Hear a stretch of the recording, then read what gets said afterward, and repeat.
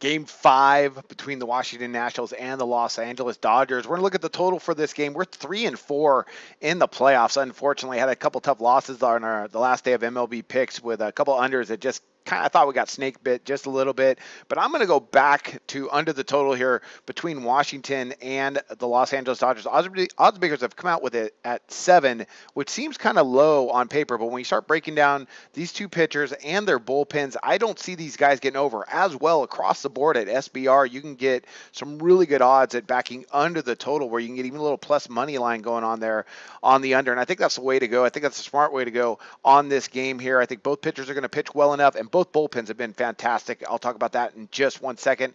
First, let's go ahead. Let's talk about the Dodgers. We got Rich Hill getting the start. He gets the call. He comes in uh, in that first game. He uh, allowed four earned runs off of six hits in four innings in that loss to the Nationals. You know, he did have seven strikeouts though in that span, but what I like is that Dodgers bullpen. They led the National League in ERA this season, and against the Nationals in this series, the Nats are hitting just 167 against them, garnering five earned runs in 16 innings, 22 Ks. That's a really good Dodgers bullpen. I think Dave Roberts will go to them you know, as soon as he has to, uh, if Hill gets in any trouble. So look for the bull, bullpen to come in and uh, pitch uh, effective enough to go ahead and help us stay under this total. Same thing goes for the Nationals. I'll talk about that right now. But they got Max Scherzer. Uh, Scherzer getting the start for them.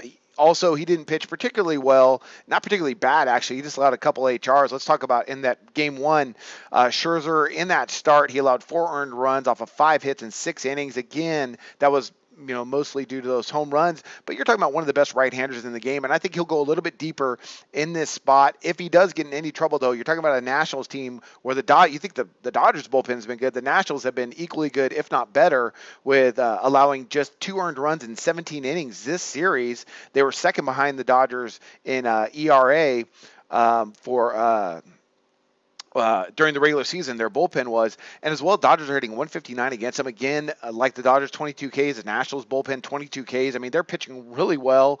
Uh, you know, coming up with some big outs. So I like for both these pitchers to pitch well and then hand it off to two really good bullpens. Uh, both these teams, you know, they've got their hits here and there, but I just don't see a high scoring affair. I think it's going to be a tight one down to the wire, uh, with the Nationals coming out on top. I think. But for me, my play is going to be on under the total here and what's going to be a fantastic game five. And I wish you luck on your picks today. Do your research before you bet. Check out our ratings guide to see which books have the best ratings and sign up bonuses. Open up several accounts. and Shop for lines at SBRodds.com. Always be ahead of the game.